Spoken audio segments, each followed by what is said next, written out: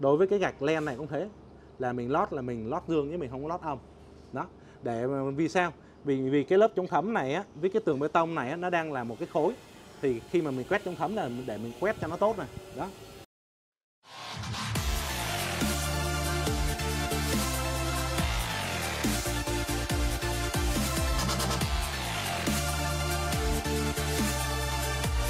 Chào các bạn, hôm nay mình sẽ chia sẻ cho các bạn các cái lưu ý khi mà các bạn lát gạch sân thượng để chống thấm.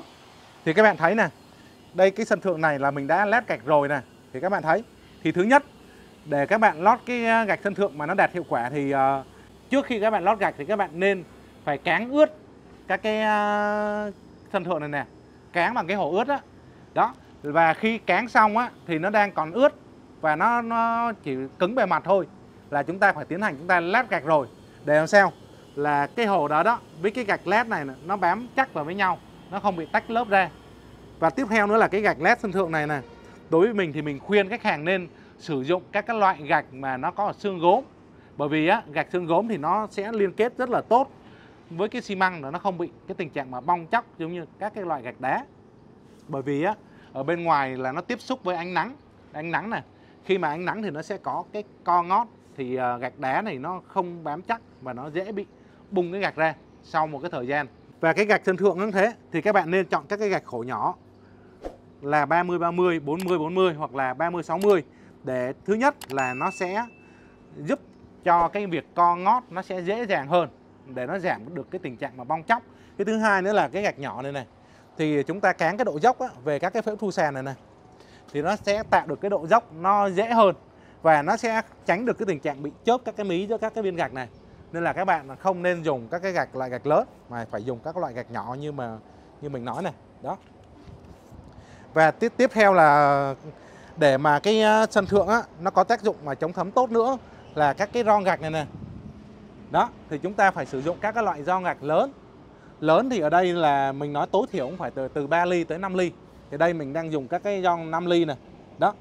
Thì cái tác dụng của các cái ron này nè, thứ nhất là khi nó co giãn về nhiệt á, nó sẽ tránh được tình trạng mà bị bung, nó có cái khe hở này này. Cái thứ hai nữa là khi mà chúng ta chét xuống đây này chét cái ron á, thì nó có đủ cái độ rộng để cái ron nó bám chắc vào trong đây, tránh được cái tình trạng mà bong chóc các cái ron sau một thời gian sử dụng. Thì à, mình cũng khuyên các bạn là khi mà các bạn chét ron này này, ở ngoài thị trường người ta đang bán một cái loại keo trà ron và có cái chất chống thấm trong đó, thì các bạn nên sử dụng cái loại đó để các bạn chét vào trong đây. Thì nó đảm bảo cho các bạn là nước nó không có thể thấm vô được cái ron này, bởi vì ron này là ron chống thấm rồi này. Thứ hai, nó nó tránh được cái việc mà nứt các cái ron này sau một thời gian sử dụng, bởi vì nó có cái chất keo trong đó, nó có cái độ dẻo, độ co giãn, và nó còn có cái tính kháng nước nữa. Nên là thường á, khi mà chúng ta lót gạch thì nước mưa nó chỉ có thể thấm xuống cái cái cái rãnh này được thôi. Mà nếu chúng ta sử dụng các cái cái chất chống thấm mà chúng ta chét vào trong đây nữa thì nó không thấm được thì không thể nào nó thấm qua viên gạch được.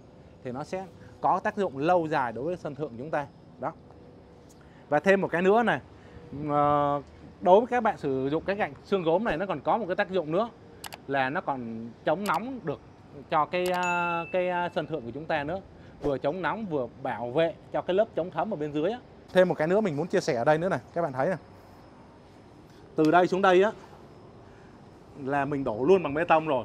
Và các bạn lưu ý nhá, thì khi các bạn đổ bê tông á, thì để nó liên kết tốt giữa cái à, cái à, cái sàn với trên đây á, thì à, đối với cái vị trí trên sân thượng này á, là mình đóng luôn các sắt hộp á, là mình đổ luôn để nó liên kết thành một cái khối luôn. Còn từ trên đây nó bắt đầu mình phải chờ các cái sắt để mình đổ thêm trên đây này. Thì khi mà các bạn đổ cái bờ này, bờ bê tông thì nó sẽ rất là chắc, nó sẽ tránh được cái tình trạng mà nứt các cái các cái các cái cái thành với cái cái cái sàn này này thì cái việc nứt này nó cũng dễ là gây ra cái việc thấm. Đó, các bạn thấy không? Và các bạn lưu ý nữa này đối với cái gạch len này cũng thế. Là mình lót là mình lót dương chứ mình không có lót âm đó. Để vì sao? Vì vì cái lớp chống thấm này á với cái tường bê tông này á, nó đang là một cái khối. Thì khi mà mình quét chống thấm là để mình quét cho nó tốt này. Đó. Nó sẽ liên kết từ dưới là liên kết lên đây. Và giữa các cái rãnh này này thì mình hay dán những cái lớp lưới thủy tinh á để nó chống cái co giãn để nó chống nứt.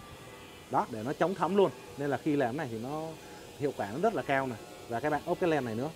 Đó bởi vì các bạn thấy không?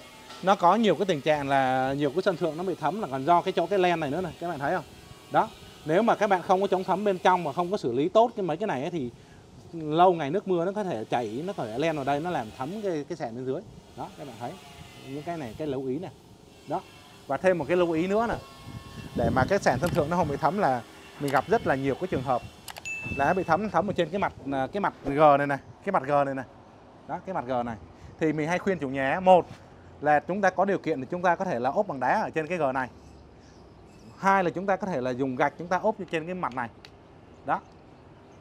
Và ba là nếu mà chúng ta không ốp được thì cái cái bề mặt này này các bạn đừng có sơn nước. Và cái bề mặt này các bạn nên sơn luôn cái sơn chống thấm lên trên cái bề mặt này này. Đó. Thì cái lớp chống thấm ấy, nó sẽ bám trực tiếp trên cái bề mặt hồ này này. Nó sẽ rất là chắc và lâu năm nó không có bị nứt.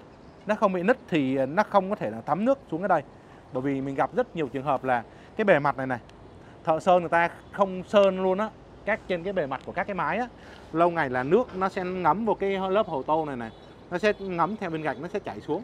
Thì uh, dẫn tới hiện tượng là nó bị ố các cái màu sơn hoặc nó bị chóc sơn hoặc nó có bị gọi là cái xi măng nó bị oxy hóa nó chảy các cái màu trắng trắng ra đó. Đó. Thì những cái ờ, hiện tượng đấy thì hầu như các cái nhà cũ là họ hay hay bị những cái trường hợp đó đó.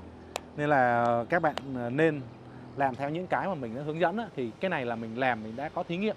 Bởi vì uh, những cái này thì uh, mình thấy cái nào hiệu quả thì mình uh, chia sẻ cho các bạn.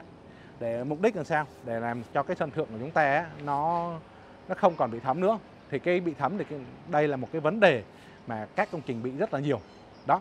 Thì uh, mình cũng uh, ngày đêm mình nghiên cứu làm sao để mình có những cái giải pháp tốt nhất có những loại vật liệu tốt nhất cũng như là cái cách thi công tốt nhất để làm sao để không có những cái tình trạng mà cái sân thượng nó bị thấm. Thì nó rất là mệt mỏi chúng ta xử lý rất là tốn kém và tốn rất là nhiều tiền. Đó thì à, nãy giờ mình cũng chia sẻ cho một số các cái các cái bước và một số các cách làm làm sao để cho cái việc mà lót gạch sân thượng làm sao để nó không còn bị thấm nữa. Rồi mình chào các bạn.